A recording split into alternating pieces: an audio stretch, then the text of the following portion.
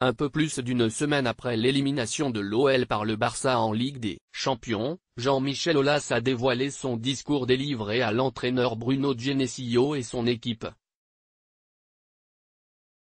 Afin de leur remonter le moral.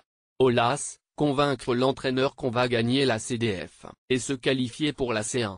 L'Olympique lyonnais a été logiquement éliminé de la Ligue champion par le FC Barcelone de Lionel Messi. Une lourde défaite, 5-1, lors du match retour des huitièmes de finale, au Camp Nou, le 13 mars dernier, qui a assommé toute l'équipe.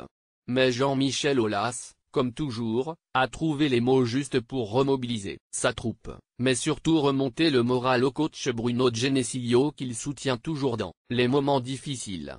Cela, en vue des défis de la fin de saison.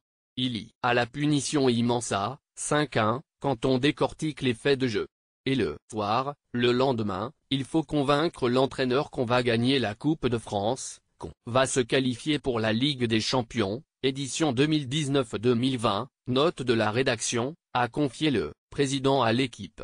En effet, Lyon est en demi-finale de la Coupe de France et affrontera le Stade Rennais le 2 avril à Dessine. En Ligue 1, le club rhodanien est troisième avec 6 points d'avance sur l'OM, quatrième, et tient ainsi le ticket du tour préliminaire de la Ligue des Champions, à 9 journées de la fin du championnat.